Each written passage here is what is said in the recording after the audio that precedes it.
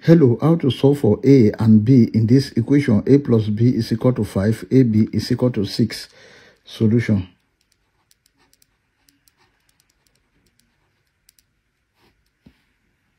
A plus B is equal to 5. Let's call this equation 1. AB is equal to 6. Let's call this equation 2.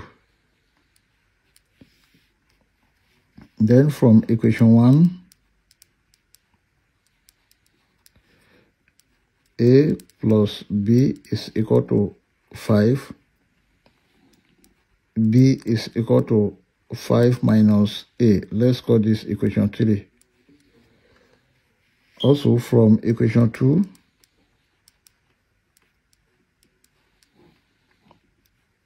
AB is equal to 6. Then we have A bracket B is 5 minus A is equal to 6. Then this is 5a minus a square is equal to 6. We have 5a minus a square minus 6 is equal to 0. Let's, this is minus a square plus 5a minus 6 is equal to 0. Let's divide all through by minus 1. Then here is a square minus 5a plus 6 is equal to 0. This is a quadratic equation. Let's solve this using quadratic general formula. A is equal to minus b plus or minus square root of b square minus 4ac over 2a or a is equal to minus b plus or minus square root of d over 2a and from this equation a is equal to 1 b is equal to minus 5, c is equal to 6.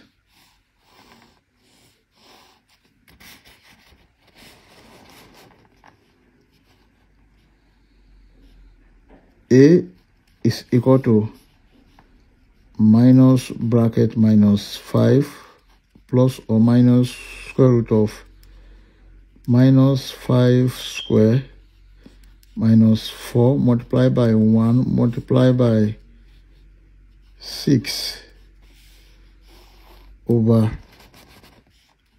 2 or discriminant d is equal to b square minus 4ac then this is equal to minus 5 square minus 4 multiplied by a is 1 multiplied by 6 then d is equal to 25 minus 4 times 1 times 6, that is 24.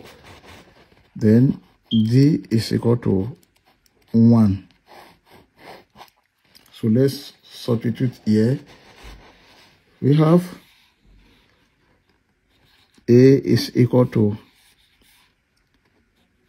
5 plus or minus square root of 1 over 2. Now, a is equal to 5 plus or minus square root of 1 is 1 over 2. Then a is equal to 5 plus 1 over 2 or 5 minus 1 over 2 a is equal to 6 over 2 or 4 over 2. 2 here 1, 2 here 3, 2 here 1, 2 here 2. A is equal to 3 or A is equal to 2. To solve for B, Then from equation 3, b is equal to 5 minus a. Then b1 will be equal to 5 minus a1 is 3. b1 is equal to 5 minus 3, this is 2. This is the value of b1. Also, b2 is equal to 5 minus a2. b2 is equal to 5 minus a2 is 2.